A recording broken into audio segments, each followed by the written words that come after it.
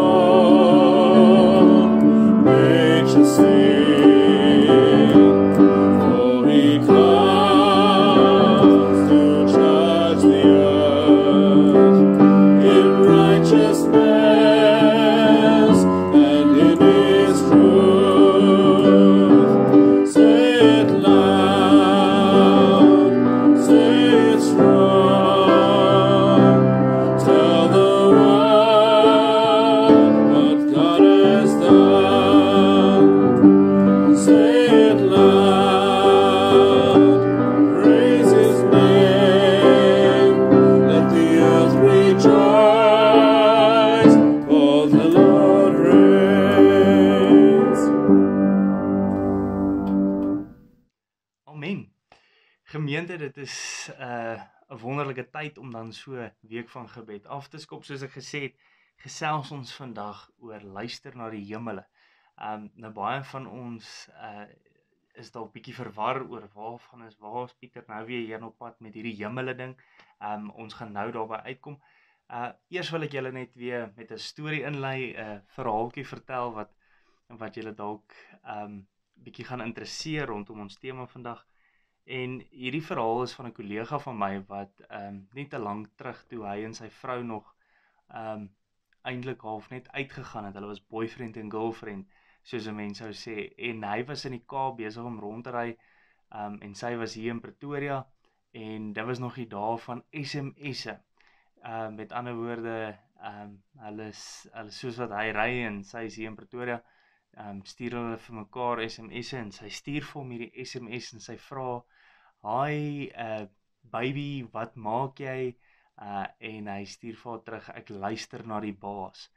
En net so stuur sy vir hom 'n boodskap wat sê yes, dis vir my so amazing, is vir my so voorbeeld dat jy um, so diep verhouding met die Here het.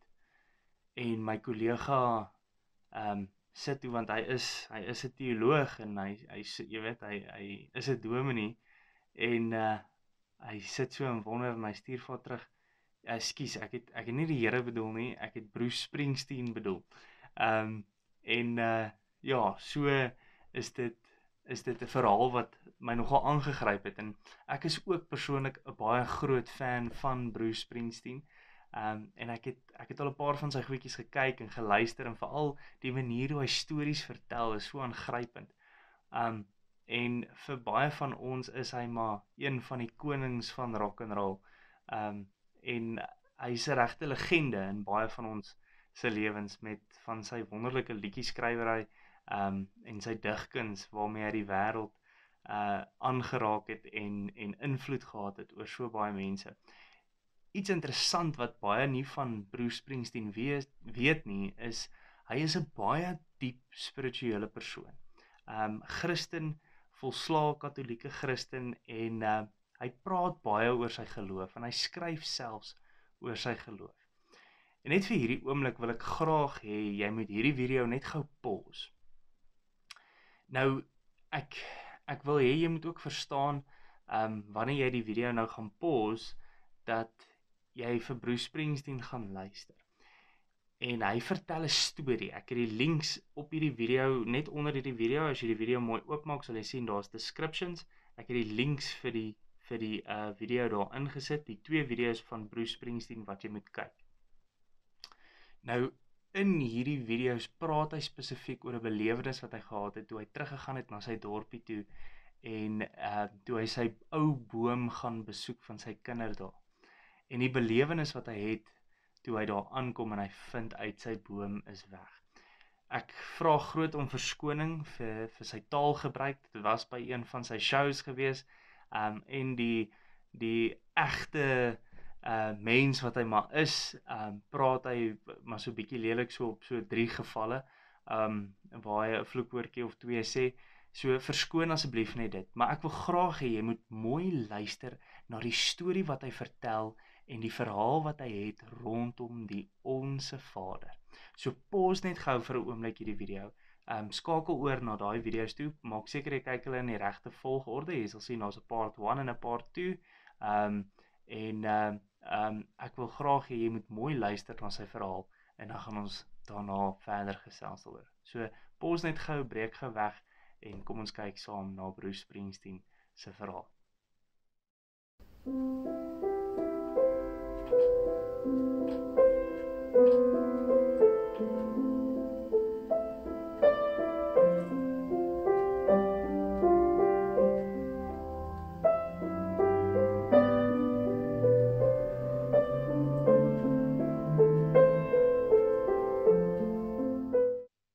Daar sy. Ehm um, seker of van van julle hierdie verhaal regtig geniet. Ehm um, maar 'n mens kan agterkom dat daar 'n diep spirituele belewenis van Bruce Springsteen is rondom ehm uh, sy sy verlede, sy geskiedenis, sy belewenis met God. Um en en dit is so belangrik dat ons laat ons ander mense se getuienisse want hierdie is basiese getuienis van Bruce Springsteen.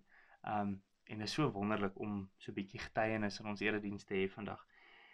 Ek wil julle dan um 'n bietjie verder vat om te sê dit is ons almal se belewenis soms.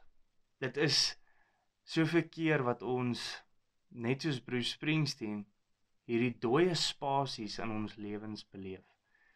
Hierdie goeters in ons verlede wat partykeer van ons al weggeneem is, soos ou familielede. Um hierdie hierdie hoe alles in die ou dae was, hoe dinge altyd goed en beter was in my verlede en hoe ek 'n baie beter verhouding partykeer gehad het met die Here. En is snaaks hoe ons partykeer die goedjies wat ons geïrriteer het in die ou dae wat nou regtig in sy volkomme wese herstel word in ons geloofslewe. Hy vat byvoorbeeld ehm um, sy belewenis in sy jonger dae van die onsse Vader waar hy sê dit het hom grensloos geïrriteer. Hy was verveeld uit sy kop uit. En hier kom hy en hy hy het nie woorde vir hoe hy voel nie. Hy hy hy mis iets in sy lewe. Hy hy hy beleef hierdie absolute verlies en hy skakel onmiddellik oor na iets wat vir hom gegee is as 'n geskenk eintlik in sy opvoeding. Wat hy gedog het is 'n irritasie of wat ook al maar is iets waaraan hy kon vashou in daai oomblik en dit was die onsse Vader en hy bid dit en hy kom agter maar hierdie spasies wat vir hom voel asof dit verlate is asof dit dood is kom weer voor God in volkome reg en dit word herstel. Nou ons het ook hierdie dooie spasies. Ons het hierdie dooie spasies oral in ons lewe. En so baie keer probeer ons met ons daaglikse goedjies wat ons doen hierdie spasies vul in steede van om net 'n oomblik te neem en net in te neem wat om my aangaan en regtig my denke terug op God spring ek gou-gou op my foon en kyk deur my Facebook of gaan gou op YouTube en kyk 'n paar video's maar ons probeer die heeltyd hierdie spasies vul. Sit voor die TV kyk 'n TV-program binge series Partykeer werk ons gaga nog aan ietsie want ek wou o, ek wou dit en ek wou dat ook nog klaarmaak en doen. En so probeer ons al hierdie dooie spasies volmaak want ons dink dit is wat ons moet doen. Hierdie spasies het iets nodig anders te voel die spasie dood. En soos wat ons soos 'n dwaas hierdie spasies probeer vul kom ons agter daar's 'n leemte. Daar's 'n leemte in die hemel. Want op die einde van die dag het ons mekaar. Het ons God. En lewe ons in hierdie verhouding met hom wat ons partykeer nie besef nie. Ons kom hier agter wat 'n ongelooflike toneelspel besig is om af te speel nie en dit gebeur reg voor ons oë. Dit word genoem lewe. En God is oral in hom. Vir ons teks vandag wil ek jou graag na Matteus 6 toe vat vanaf vers 9 waar die onsse Vader gebid word. En ek wil julle so 'n bietjie wys maak rondom die onsse Vader. Laat jy verstaan wat gebid word wanneer Bruce Springsteen daar bid. Ek wil hê jy moet beleef wat gebid word wanneer miljoene Christene reg oor die wêreld op Sondag hierdie gebed opsê. Wat gebeur wanneer elke liewe keer wat ons partykeer voel, ek sê net 'n rympie op, dat daar woorde gesê word wat die dooie spasie partykeer vul. So kom ons lees saam Matteus 6 vanaf vers 9 en ek ek gaan lees, ek gaan dit die eerste keer deurlees en dan gaan ek vir julle weer lees en ek gaan ehm um, by 'n paar 'n hele paar plekke gaan ek stop en ek gaan net ietsie verduidelik daarso wat vir jou die gebed gaan volmaak. Laat dit nie net soos 'n rympie voel ehm um, met woorde wat al ingesit is nie, maar dat die betekenis van die woorde regtig vir jou tot uh tot openbaring sal kom en dat dit vir jou volkome sal sin maak.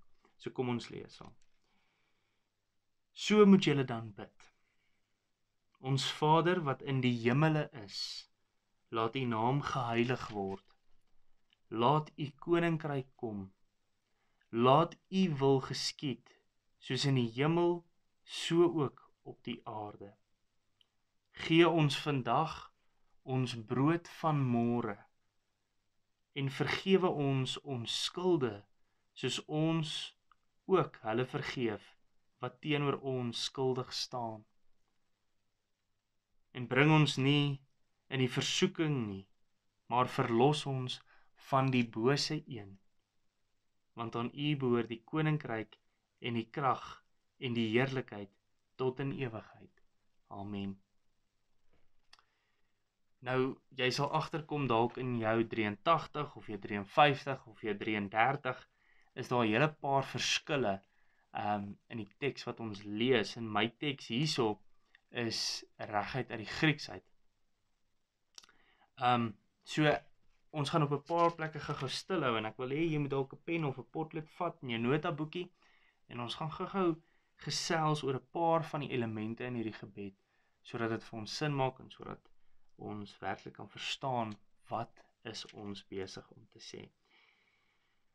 Met die begin sê dit dan so moet jy dit dan bid en dan begin die gebed met ons Vader wat in die hemele is. Nou hierdie ons Vader is eintlik in die Aramees of in die Hebreëus ehm um, Abba.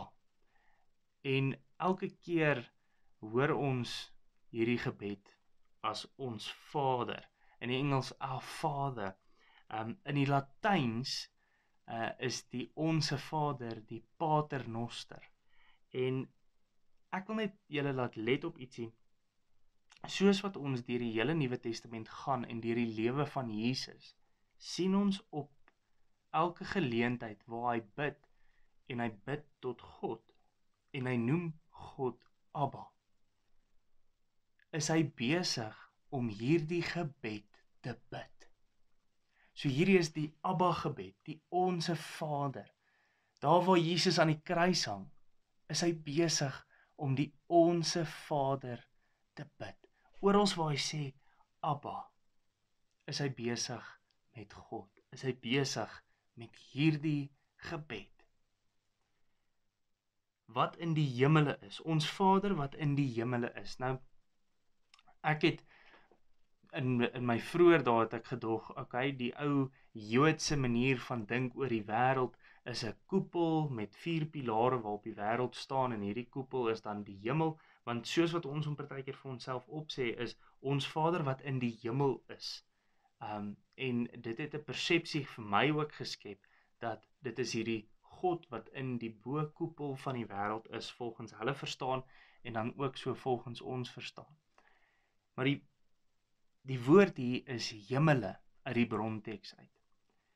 Nou die woord hemele in daai konteks beteken spasies. En dit is presies wat ons tema is eintlik vandag en dit is waar rondom ons so 'n bietjie gaan wentel. Hemele, die spasies. Ons Vader wat in die hemele is. Met ander woorde God wat oral die spasie vul. Abba wat oral die spasie vul. God wat heers oor alles. Is dit is die dit is die bedoeling van hierdie lyn. Dit is die bedoeling van hierdie sin om te sê God is met ons deur alles oor alles saam met ons. Ons Vader wat in die hemel is, laat U naam geheilig word. Laat U koninkryk kom Nou baie keer het ons ook hierdie persepsie van koninkryk en ek gaan hierdie ook net gou vinnig probeer verduidelik. Koninkryk in ons westerse brein is partykeer um iets wat ons in in ons geskiedenis al beleef het van wat 'n koninkryk is. Met ander woorde, daar's hierdie koning of daar's hierdie um keiser en hy het hierdie groot koninkryk waaroor hy heers. Nou wanneer Jesus hier na koninkryk verwys en oral waar daar na koninkryk verwys word in Jesus se se sprake en sy in sy um uh gelykenisse en wat ook al praat hy nie van 'n soort gelyke koninkryk as wat ons westerse brein aandink nie. Hierdie koninkryk wat Jesus hier bid, wat hy sê laat u koninkryk kom, is God se versorgende regverdige geregtigheid. Dit is die koninkryk van God en dit kom tot stand deur die sterfte, die kruisiging, die sterfte en die opstanding van Jesus as ons na Johannes kyk. So hierdie laat u koninkryk kom is dit Jesus se Getsemane gebed.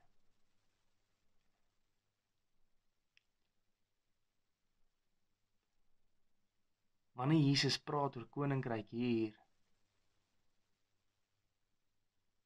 is hy besig om te praat van wat moet kom. Die tyd wat aangebreek het. God wat die tempelgordyn kom skeer sodat ons verlos kan word. Hierdie koninkryk waarvan Jesus hier praat is 'n anti-koninkryk, koninkryk. Met ander woorde, 'n koninkryk waar jy nie deur die wêreld geheers word nie. Waar die wêreld nie oor jou 'n houvas het nie. Maar waar jy in God skuilings vind. Dit is die koninkryk waarna Jesus hier verwys. Laat u wil geskied soos in die hemel, so ook op die aarde. Weereens net 'n herhaling van die versorgende regverdige geregtigheid van God soos in die hemel so ook op die aarde. Gee ons vandag ons brood van môre.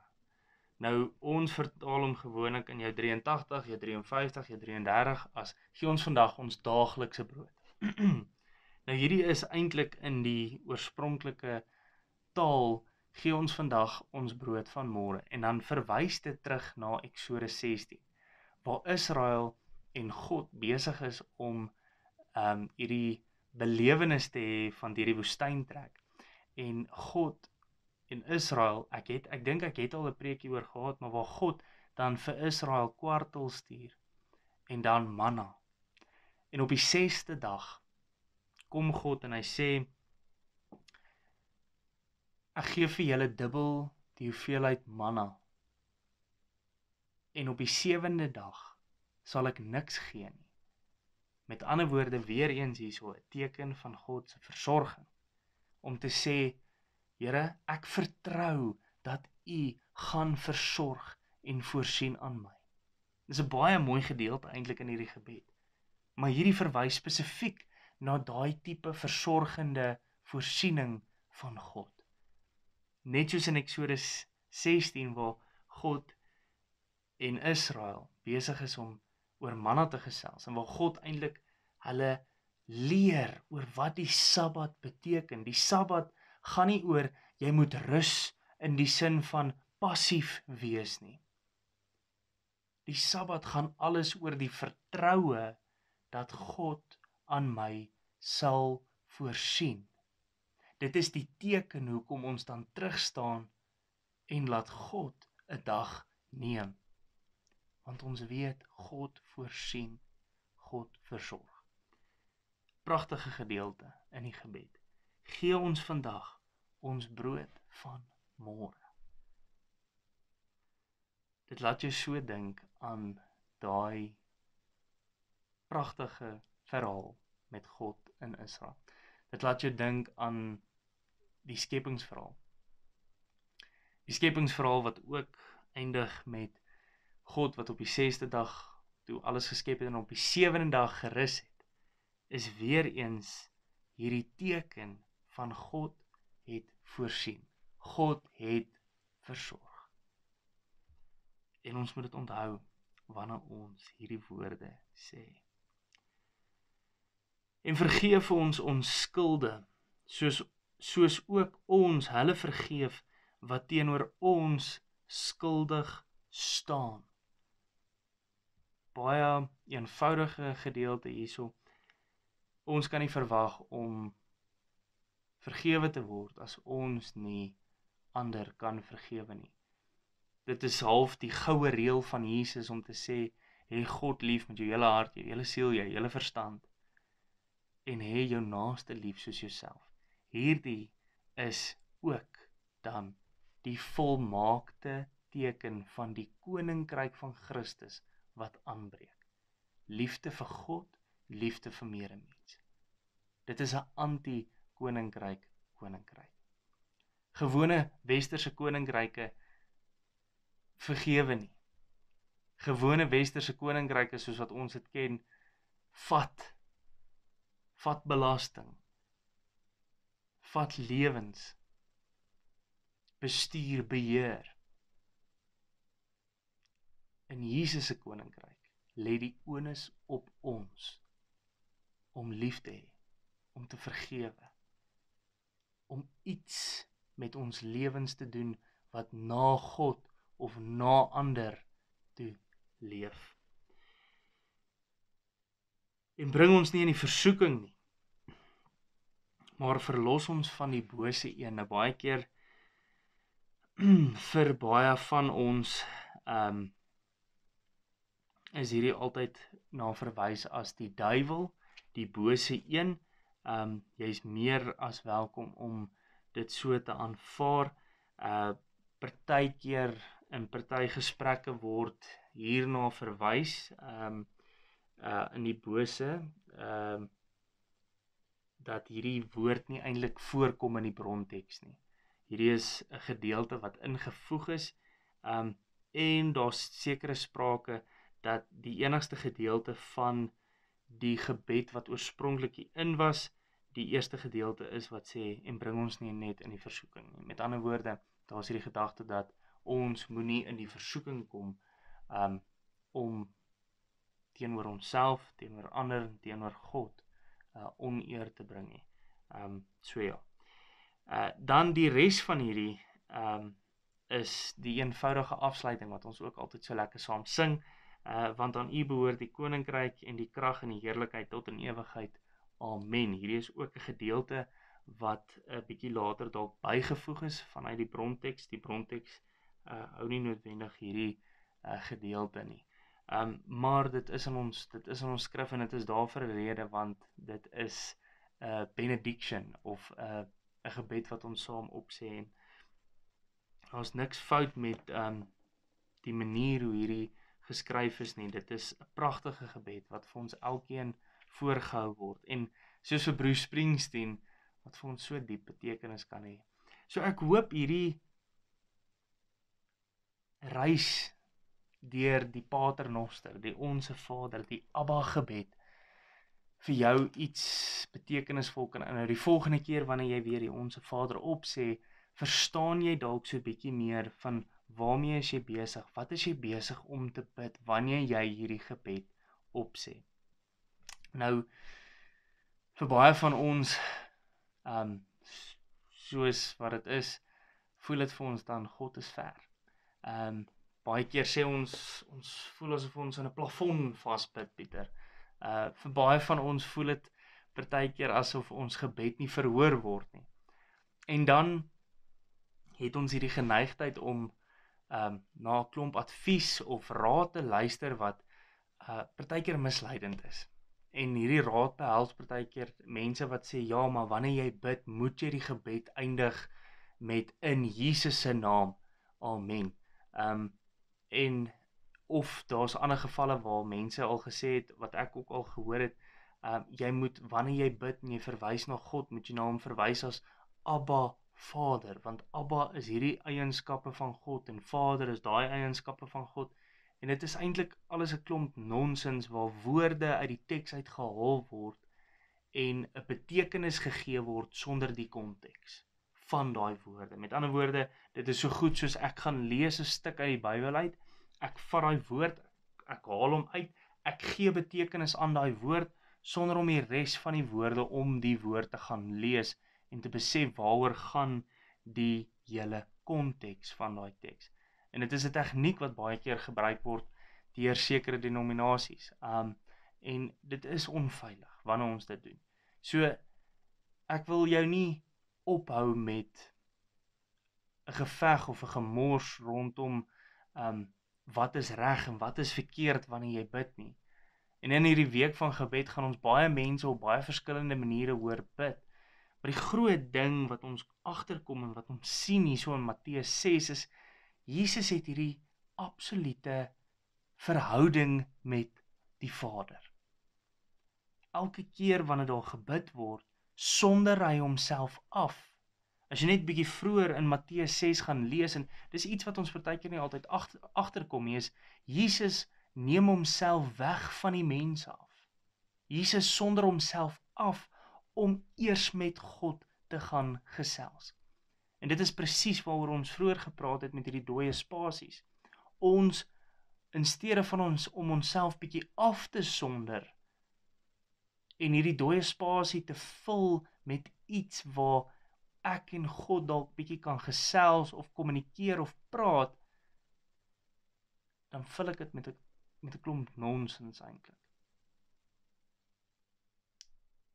En ek het al baie keer gesien hoe vir baie van ons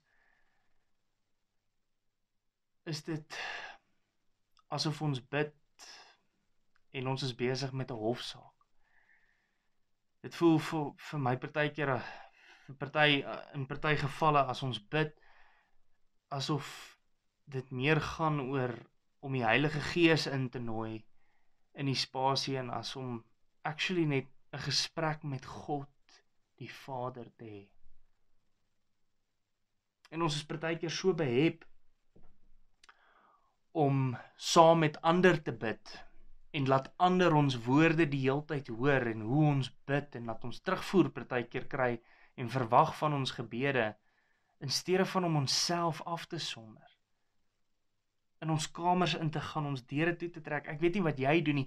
Ek stap in die oggende uit op my stoep. Dis die stilste plek.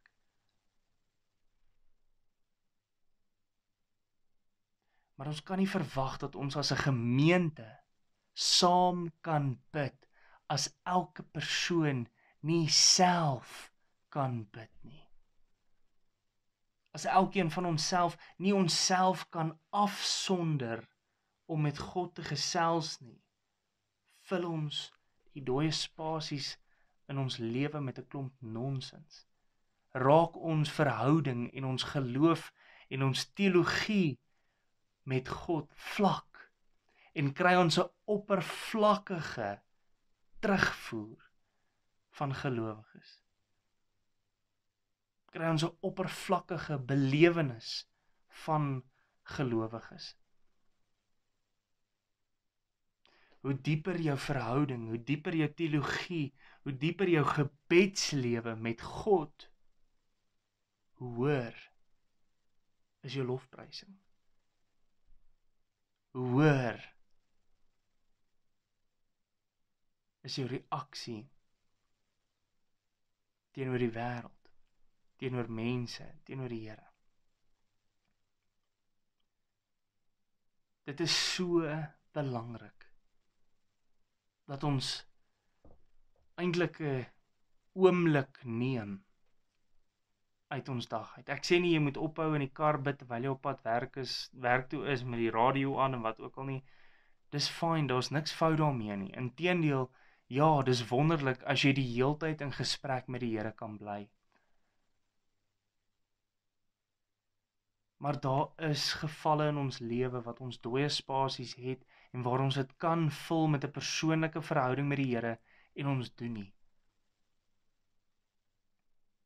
Ons verwag hierdie spasies moet gevul word met die ou boom wat nog daar staan. Met die ou lewens wat al lankal weg is, die ou geeste, die ou siele.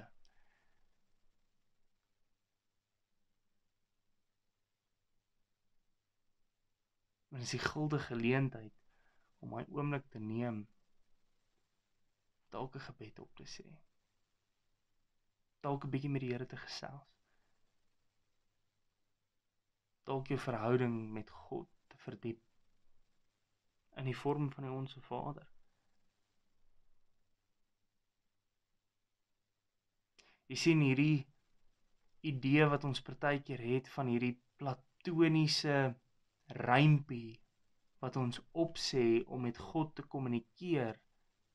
Ja, dit is 'n rympie as jy nie verstaan wat jy besig is om te sê nie. Ek kan onthou dit my 13 jaar gevat om te verstaan wat eintlik gebid word wanneer iemand vir die kos bid. Wanneer iemand die seun vra oor die voedsel wat ons nou gaan eet. Dit is so belangrik dat ons in egtheid voor God kom.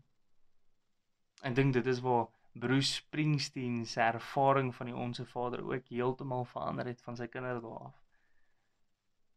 En in sy vroeë dae toe hy die onsse Vader moes opsê, het dit vir hom gevoel soos rotine want hy het nie eintlik verstaan wat hy sê nie.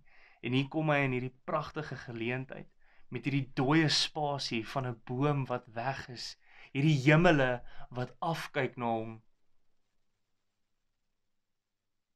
Hierdie ou geeste, hierdie ou siele wat oral staan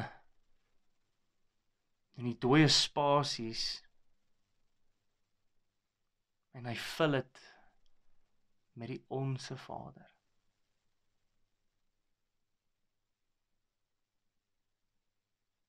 Is dit nie my en jou prioriteit?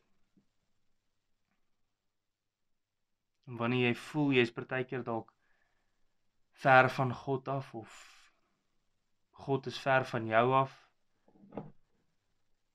wanneer jy voel soms dat God nie na jou gebede luister nie of nie jou gebede verhoor nie. Dat ons nie God soos 'n transaksie hanteer nie.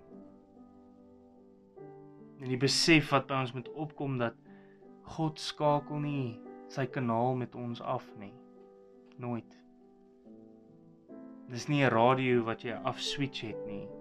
Jy sien God is was en sal altyd wees. God vul die spasie wat jy soms miskyk. Wat jy probeer vul met iets anderste. God is daar. God was nog altyd en God sal altyd wees en is partykeer ons prioriteit om dit raak te sien. Vul dit met iets sinvol luister na die hemele.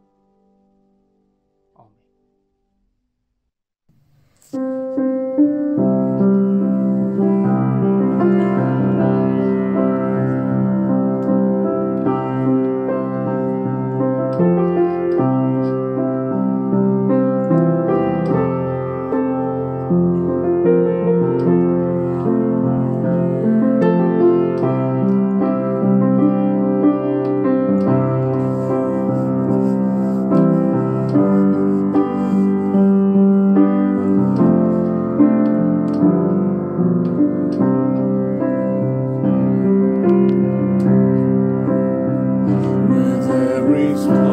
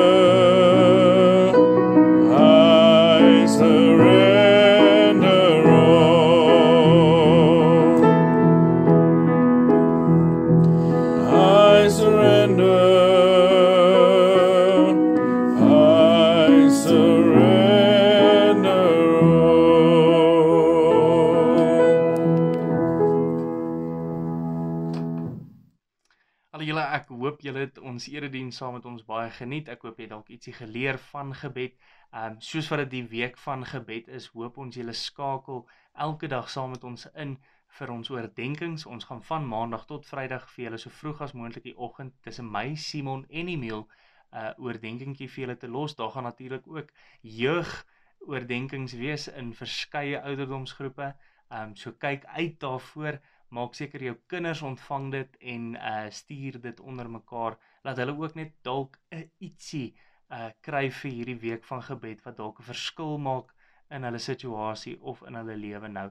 Dan ook onthou maandag en dinsdag bid ons as gemeente saam op Zoom.